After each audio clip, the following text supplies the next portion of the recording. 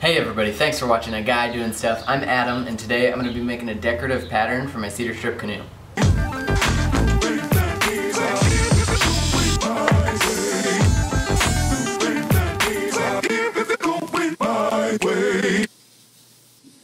First of all, everything about this pattern is tedious and complicated, and if you're building your first canoe, I would not recommend doing anything like this. I figured I'd go ahead and show you guys how I did it anyways though. First thing you do is glue a bunch of strips together. The thinner strips and more variation you use, the crazier final design will be. On one side of your strips, you glue 4x4 squares with 7 inches between each one. Each square will ultimately end up making one pattern. When that dries, cut a 45 degree angle like this, then cut that in half. Take the squareless half, put a couple notches in the right place so you can clamp it, then glue that to the square like this. Again, wait overnight and you'll end up with this. Now I trim the sides and send it through the planer to clean it up a little bit.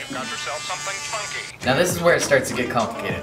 I use a straight edge to draw a line and freehand cut it on the table saw. Then I use the fence to make it square at about two and a half inches wide. Then I resaw it to get a book match effect. Now I send these through the planer until they're exactly a quarter inch thick. Go back to the table saw and rip them into half inch strips. You need to be extremely careful on this part because the strips are super fragile.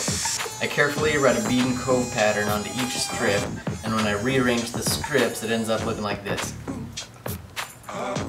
This is what it looks like after I put the patterns on the side of the boat. This took a ton of extra work, but I'm really excited to see what it's going to look like when the boat's all done.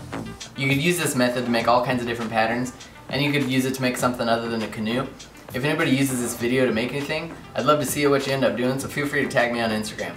Thanks for watching A Guy Doing Stuff. Don't forget to hit subscribe to watch me build the rest of the canoe. Uh.